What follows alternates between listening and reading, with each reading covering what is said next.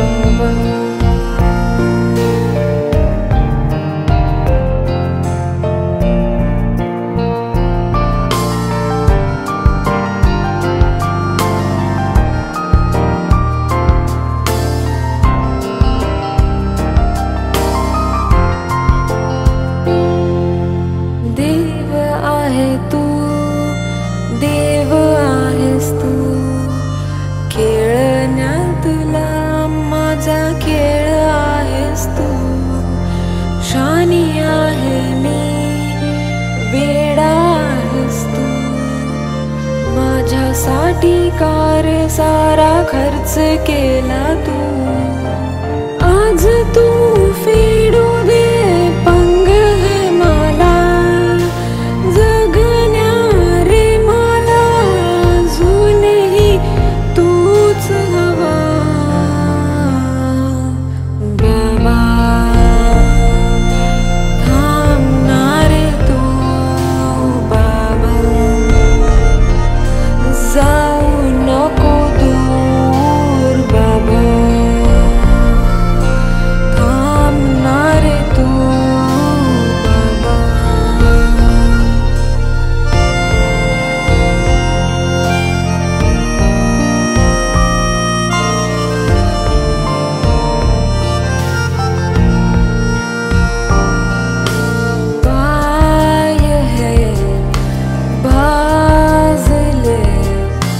अशुरुञ्जा